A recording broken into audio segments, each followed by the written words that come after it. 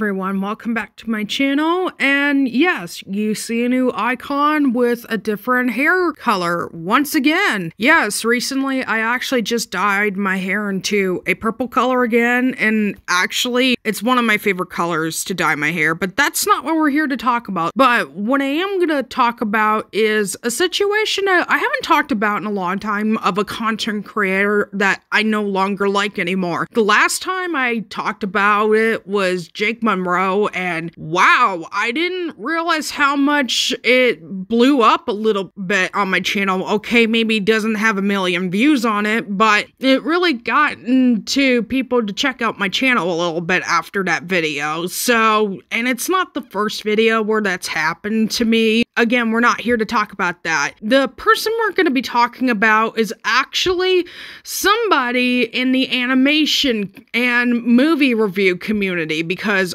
oh my fucking god, is this person a piece of work to deal with? Literally.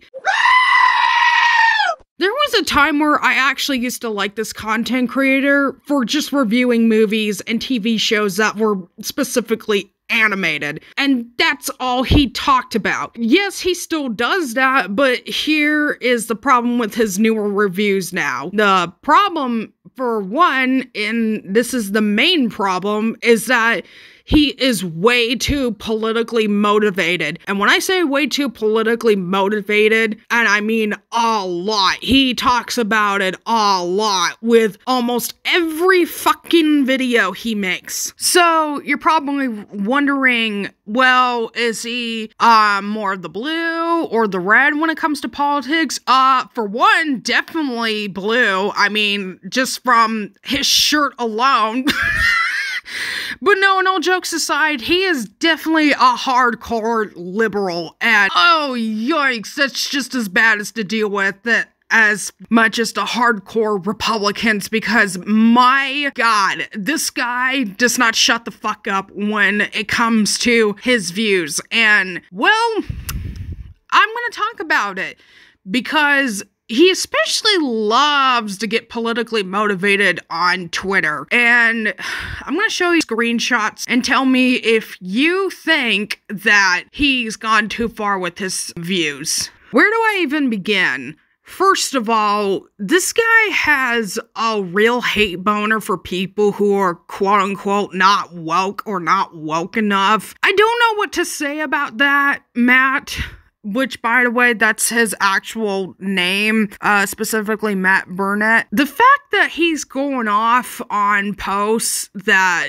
when those are not woke for the public he gets real bitchy about it. And when i mean bitchy about it he like will bash online about people who are slightly conservative or even conservative altogether. Does that mean he's right about all of it? No. I'm going to explain why because there's actually one situation I actually looked into that one of the screenshots was about the CEO of Warner Brothers and Discovery that officially uh, decided to resign, I believe, as the CEO of Warner Brothers and Discovery. Um, I'm actually going to leave two articles about the whole situation down in the description below to prove my point because in one of the tweets, Animat literally said a tweet against David Zaslav, literally pointing out to Twitter saying, Animators and animation fans can unite to fight against David Zaslav.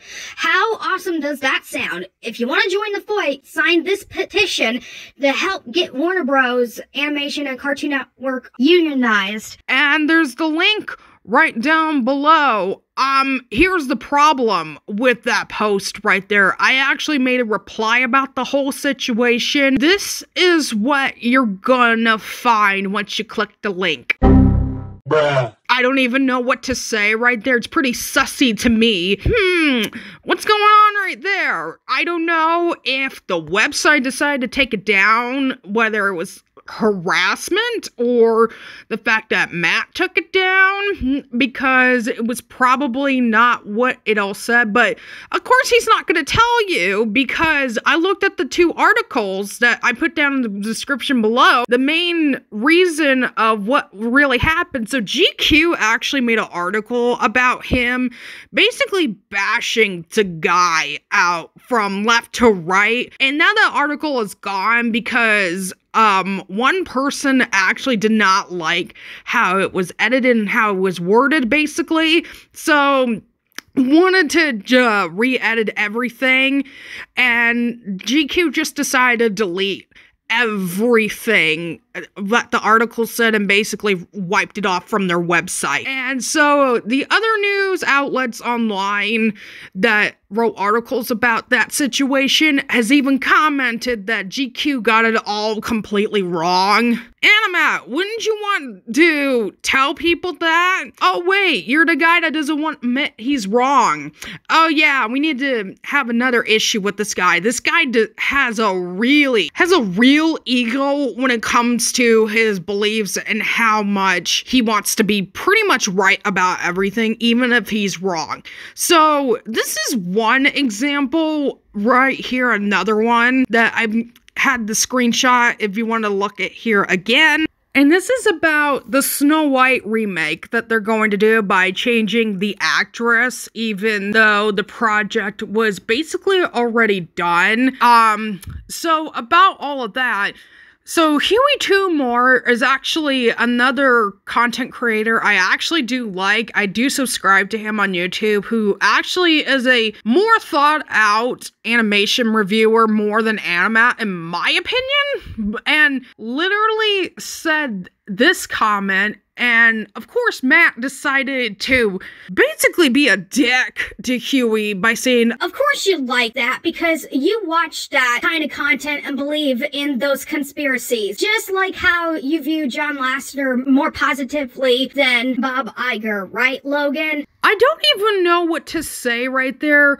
Now, granted, Huey, if you don't know, has changed his mind about John Lasseter, and honestly, I can see why Huey Tumor doesn't work with you anymore because with that kind of attitude, that's really fucked up.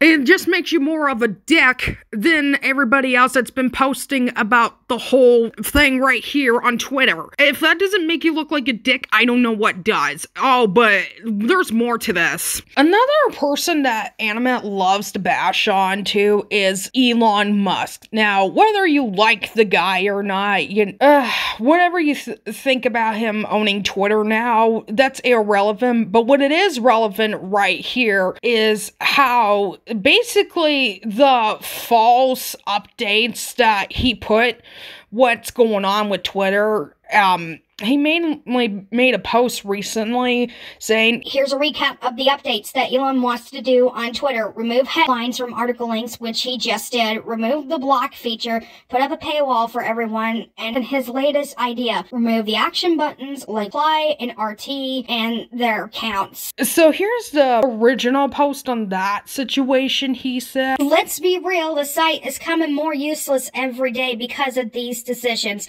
There's no point to having a platform here because even the big numbers we get here are a lie. There's nothing to lose anymore if you choose to quit. So here's a reply that somebody actually believes in. And this is what Matt also said after that. He says, Technically, they're not removing the feature. They're removing the buttons and replace them with actions like swiping and double tapping. It's just to make the app more complicated for everyone. I haven't seen really much of that. I just know that Twitter now, it used to be when you went to explore Twitter, you could see where it said tweets and the type of media like videos and all that. Now it just says posts and media. I know that's definitely changed. Whole repost or retweet really hasn't gone away. I and I know this because I use Twitter plenty of times to look and you could still like things. I mean, it's a heart button now, but you can still do that and still repost as they say it now on X. I'm sorry, that just feels weird. I'm still going to call it Twitter, even though it is called X now.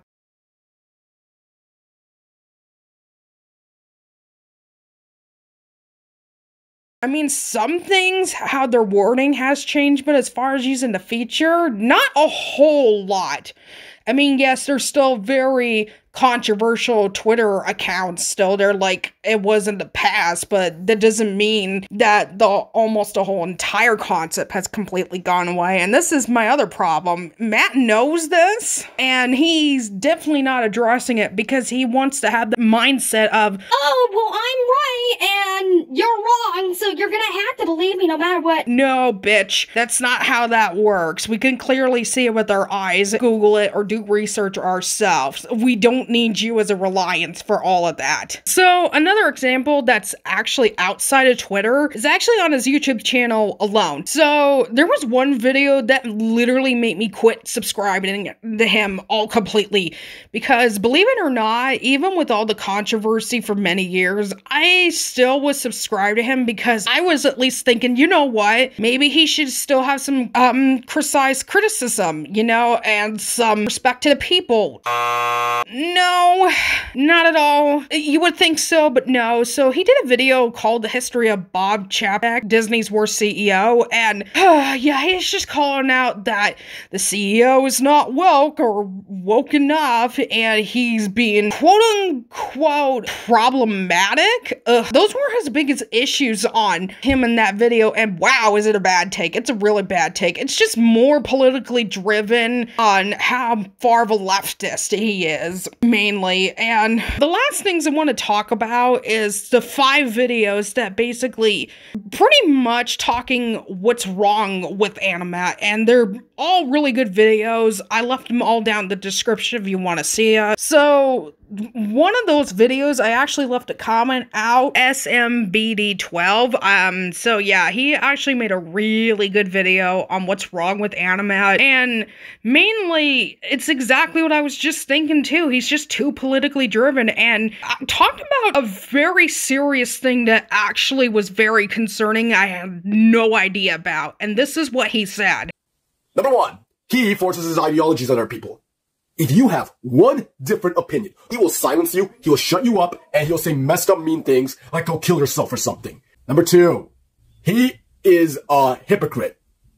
He kept supporting all of his left blue stuff, calling himself like the hero and stuff, and that they're the good guys. And he's really hypocritical. He really does like to say that he's a proud liberal. He just really likes to say that. And he always says that the red groups are always violent and stuff like that, and stupid and dumb and not human and have no hope of saving and won't be missed if they're gone when they get replaced. Not just that, but he really says a lot of hate speech. He says they're haters, they just make hate, but honestly, he's literally spreading hate too.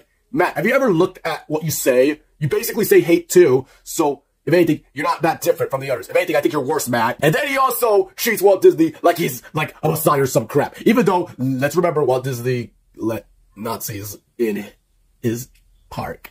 Like, oh, if it's a Republicans doing it, that's bad. But if it's the liberals, then that's totally okay.